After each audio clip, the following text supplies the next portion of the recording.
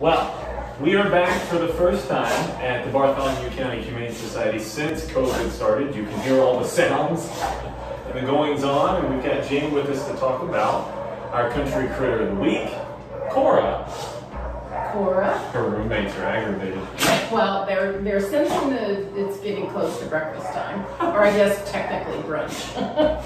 Well, Cora is a little wild today. We gave her a treat. It's all gone now. Tell us a little bit, Jane, about her. She's obviously a very friendly. friendly she is. Cora is obviously a pitty. She's got this beautiful. If she was a horse, she'd be like a dun um, color, but she's this this really pretty beige kind of. That's the new word. See, see, we're very fashion forward here at the shelter. And white. Um, she's very sweet. I mean, she's only been here a couple of weeks, and she is already one of the very best shelter favorites, volunteers and staff alike.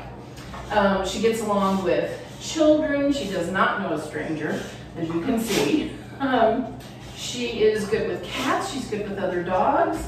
Um, like I already said, children. Um, she needs some more groceries, which we're trying to take care of safely, of course.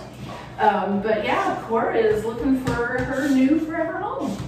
And we were just talking about the fact, and this is probably the case with a lot of dogs that you guys get. You know, She's she's adjusting to being in a safe environment, Right. which is, I think sometimes we forget that that's an aspect of what you guys do is rescuing, and it's literally life or death rescuing. Um, what what are some things when when you're adopting to consider bringing a pet in?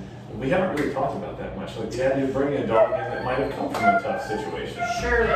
Um, and that is one thing, a lot of our doctors do get that, some don't. Some it's a rude awakening, sometimes it's just a learning curve.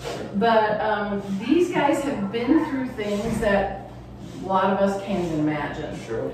Um, even if it's, and it's not always overt cruelty where they've been beaten or tortured or tormented. Sometimes the cruelty is in the form of just never being taught to walk on a leash, never being, uh, never having their own toys, never having their own bed, never knowing consistent meals. That's one of the things we talked about.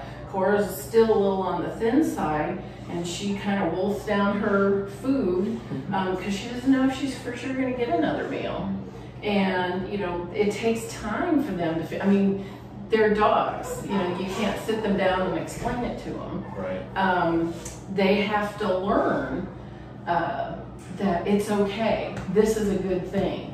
Like being here is a good thing. I mean, Cora has adjusted really well. Um, like I said, she loves everybody, but a lot of the dogs um, and cats too, a lot of the animals in shelters, they have to learn like that this is a good thing because everything is new. And when they go to a new home, a lot of them came from a home, but maybe not such a good home, and they have to learn that okay, this they learn, they really do, with patience and love and kindness um, and consistency. That's a big part of it um, because they learn kind of like young, children do um, by repetitive behavior um, that it's okay. I'm going to be okay. So, and that, and this is a good thing. So Cora has figured out that this is a good thing here, and she knows it's almost brunch time. so, If you want to adopt Cora or any of her roommates that you hear out there, you can get in touch with the Bartholomew County Humane Society. Of course, you can always go to WKKG.com for more info. And we're just excited to be back over here, uh, bringing you guys our country critter. And Jane, thanks so much for showing us Cora. absolutely. Thanks for coming out, everybody. I'm glad.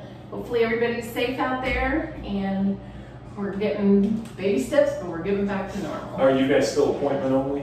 We're still appointment only right now. Yeah, I mean, it seems to make our clients more comfortable also. But yeah, we are scheduling appointments like crazy. So, you know, give us a call, um, uh, email us, whatever is best for you. We will get you hooked up.